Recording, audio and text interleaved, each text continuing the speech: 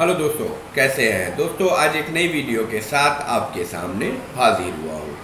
आज की वीडियो जो है, ये फ्री टैबलेट से रिलेटेड है, इसी को लेकर कुछ अपडेट था।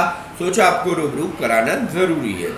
यहाँ पर जो है, सरकार तो आप सब जानते हो कि जो हमारी सरकार है, योगी सरकार, वो बन चुकी है, जिसके एक जो है अकॉर्डिंग अब जो है फ्री टैबलेट का जो वितरण है, वो करीब करीब शुरू हो चुका है। और यहाँ पर कुछ कंपनियों की वजह से उसको लेट भी हो रहा है तो वो पूरी बातें अपने मैं वीडियो के माध्यम से क्लियर करता हूँ। अगर आपको मेरी वीडियो पसंद आती है तो वीडियो को लाइक करना ना भूलें और चैनल को सब्सक्राइब ज़रूर कर ले, ताकि इसी तरीके की वीडियो आपको मिलती रहे।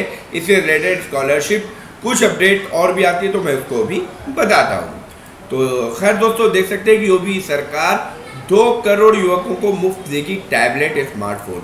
अब इसके जो टेंडर थे तो ऑलरेडी जारी किए जा चुके थे, लेकिन उसका कुछ कारण है। इस कारण की वजह से ऐसा हो रहा है। तो यहाँ पर देख सकते हैं कि सरकार 2.0 ने युवकों को तकनीक रूप से दक्ष बनाने के लिए कमर कस ली है।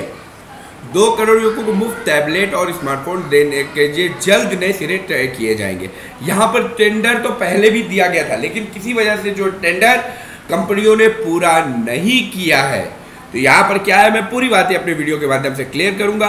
तो आप सभी लोग जो है वीडियो के शुरुआत तक बने रहे। ठीक है दोस्तों? तो यहाँ पर 100 दिन के भीतर टैबलेट स्मार्टफ़ोन वितरण किया जाएगा। यानी 100 दिन के अंतर्गत सारी चीज़ें होनी है। तो खैर पे थोड़ा सा और नीचे चलता हूँ।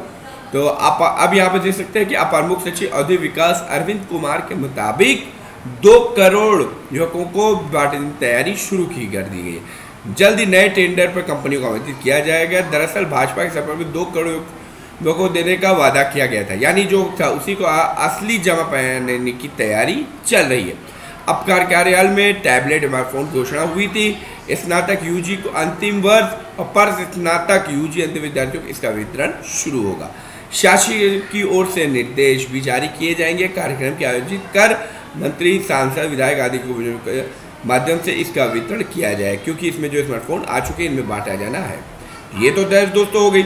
अब यहाँ पर जो आपूर्ति लेट हुई है, इसी को लेकर देख सकते हैं कि अपार सचिव, इतना था।